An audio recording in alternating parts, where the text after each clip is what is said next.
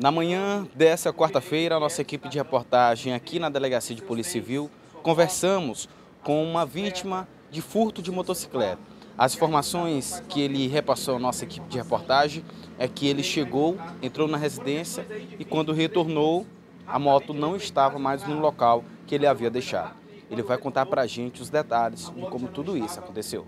Então, eu tinha chegado em casa por volta das 21h57, 21h57. Eu entrei dentro de casa para trocar de roupa, eu ainda ia retornar para lanchar, né? Aí eu deixei a moto fora, que eu sempre coloco para dentro. E eu saí às 22h20, né?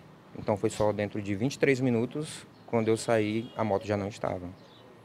Aí eu acionei a polícia, avisei e até agora nada, né? Onde é que foi o local que a moto foi furtada? Rua Alto Brasil, 240, na porta de casa, bairro Setúbal.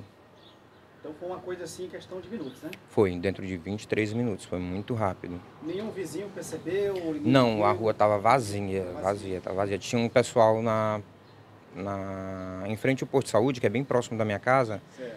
mas quando eu saí eles já estavam, já não estavam mais lá. Qual era o modelo da motocicleta? É Titã Vermelha 150, de placa OJK 2655. Qual pedido que você faz aí nesse momento? Que quem souber alguma informação, ouviu, né, que é, entre em contato comigo, né, que é, será bem gratificado. É 99, né, o DDD, 8458 1453. Já registrou o boletim de ocorrência? Agorinha, já registrei. Tem esperança de recuperação. Bem pouca, né, mas vai que dê certo.